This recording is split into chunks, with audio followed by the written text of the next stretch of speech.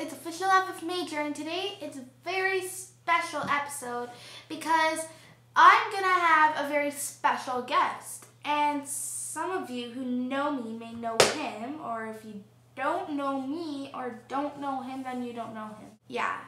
So, my special guest today is Skyler. So, everyone, welcome Skyler.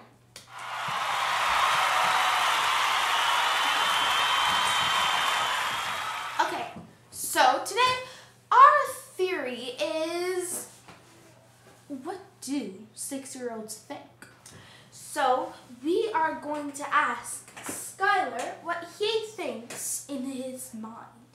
So that's why this video is called What a Six Year Old Thinks. Something like that. Skyler, what is your favorite movie? Superman. Why? Because I really like how they do the um, details. You like details? Yep. At your age? Yeah. Thick. Okay, so Skyler, what is your favorite girl and boy name? Girl and boy name. Yeah. Well, my favorite boy name is Riley. Yeah. My favorite girl name is.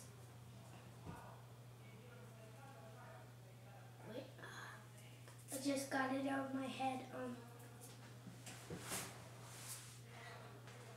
All right, Tyresha.